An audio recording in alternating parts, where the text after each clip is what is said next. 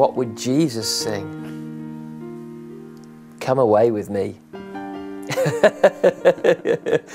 uh, I, I, I am never, uh, sorry, well, I'm always awestruck by God's desire to be with us. From the very beginning, book of Genesis, God's whole design was He wanted to be able to walk in a garden with mankind. And right the way through to the book of Revelation, you find His end desire through all of this mess is that God would dwell with man. And so the story of the Bible is never one of God pushing man away.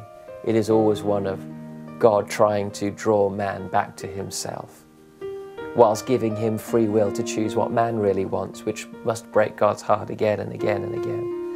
And so I believe if Jesus would sing anything, it would be to us come away. I want to be with you. I, I, I don't even want religion. I think Jesus would say, honestly. Uh, don't, don't worry about tidying yourself up and whether your hands are in the air at the right moment or you're kneeling in the right moment or you are singing the songs off the screen or the hymn book in the right moment. I believe he would say, I want you to realize nothing is more important to me than having relationship with you as an individual.